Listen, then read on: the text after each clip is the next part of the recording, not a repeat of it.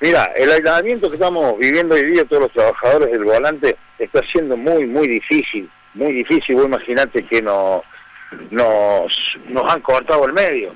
Entonces, bueno, estamos tratando de pelearla por medio también de la municipalidad que nos está dando una mano de la forma mejor posible. ¿Qué tipo de mano, digamos, qué tipo de ayuda, de asistencia les está dando el municipio? Nos han dado bolsones, nos han dado órdenes de compra y siempre están con nosotros.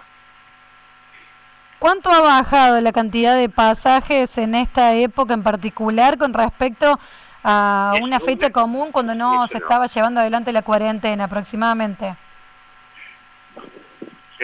Y más o menos eh, ha bajado, para que tengamos una idea, un 80%. Bien. ¿La totalidad de los trabajadores del volante están en la calle? ¿Algunos han decidido no salir? No, eh, por lo menos en la calle debe haber un 50%. El otro 50% ha decidido no salir. ¿Por qué? Porque es gente grande, de mucha edad y no corren riesgo. ¿Qué tipo de precauciones están tomando ustedes eh, a la hora de trabajar? Eh, bueno, lo que era barbijos, guantes, alcohol y el resto hay autos que han aislado los autos con nylon en la parte de atrás, entonces están aislados del, del chofer para, bueno, una mayor seguridad.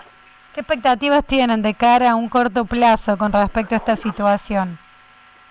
Eh, lo que pasa es que de cara a un corto plazo, como decís vos, eh, no hay una expectativa porque no sabemos esta, esto, esta cuarentena hasta cuándo va a seguir. Porque si bien dijeron hasta el 13, eh, si no se llega a levantar el día 13 y seguimos en la misma. Seguimos en la misma, el trabajo se sigue cayendo, hoy, hoy se está trabajando un poquito más con el tema de la gente que está cobrando, en los bancos, entonces bueno, estamos, estamos transportando a esa gente, pero está muy, muy duro, Pía. Claro, hay un poco más de movimiento con el tema de la apertura en los bancos. Sí, sí, sí, sí. Sí, hoy ha crecido un poquito el movimiento con la, apertura de los bancos, pero si bien los bancos abren sábado y domingo, también fue de terror, o sea, no hubo movimiento directamente. Es decir, que ustedes esperan que esta cuarentena se pudiera levantar a partir de la próxima semana. Sí, esperamos eso muy ansiosos porque eh, tenemos familias atrás nuestros a la, cual tenemos que darles de comer y tenemos que, vivir. ¿Cuántos son eh, los choferes de, taxi en nuestra ciudad? Y hoy nosotros tenemos eh, tenemos 334 taxis, y hablo taxis solamente, no remisa, ¿no?